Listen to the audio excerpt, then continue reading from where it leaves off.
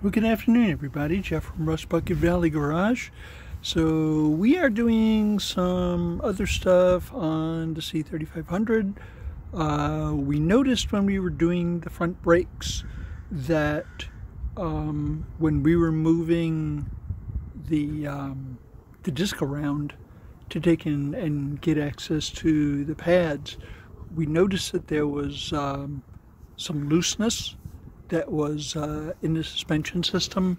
And what it actually was was the uh, the rod end that was um, the the ball joint on there was uh, was bad. Okay? And this is what the rod end looks like.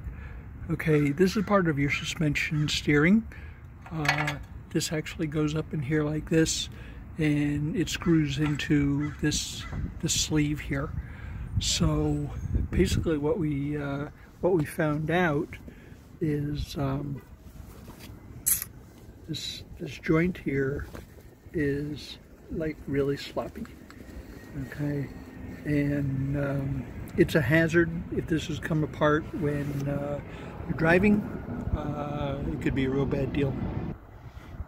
So we actually tried to take and get this off with the wheel on and there is a, a castle nut, okay, which looks like this, okay, and you can see the top is like a castle and there's a space for a cotter pin to go through there and there is a hole in here that keeps it all together when it's in this configuration right here and we could not get the cotter pin out from underneath the car so we had to take the wheel and tire off to take and extract the rest of the uh, the cotter pin out.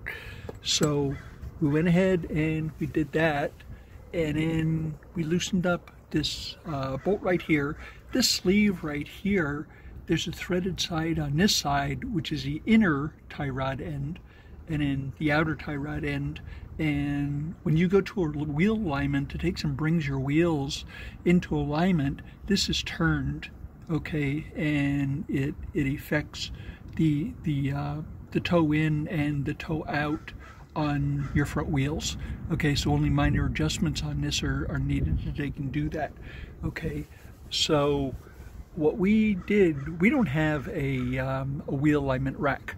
Okay, however, what we did when we were unscrewing this is we counted the number of turns that we had to turn it to take and get it out. So we have a brand new tie rod end that our customer was nice enough to take and bring us.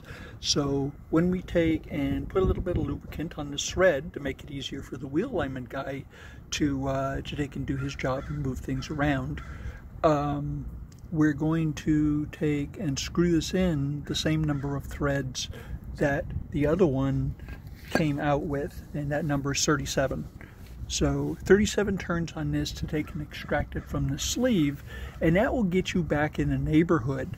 And then we're going to take this thing around the block a couple of times and see uh, if the wheel alignment is okay. And if the wheel alignment is okay then we'll return to the customer.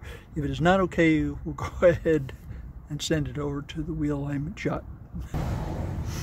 So anyway, we're going to go ahead and lubricate this up and then uh, screw it back in here. This goes back up inside here. Uh, we're going to put another cotter pin in there. Uh, this one here does come with a fitting. This is called a Zerk fitting. Uh, that you hit, hit that with the grease gun and lubricates this joint. Okay, this one had a Zerk fitting also, however, it is full of dirt and everything, and it doesn't really look like it got lubed much. So that's a reason that uh, it, it failed probably. Okay, so if you want your uh, components on your front end and your steering, the things that move a lot, uh, you have to keep them lubricated. Make sure you take a grease gun to them about once every six months, once every year. Uh, make it make sure everything has uh, enough lubrication and lasts a long time.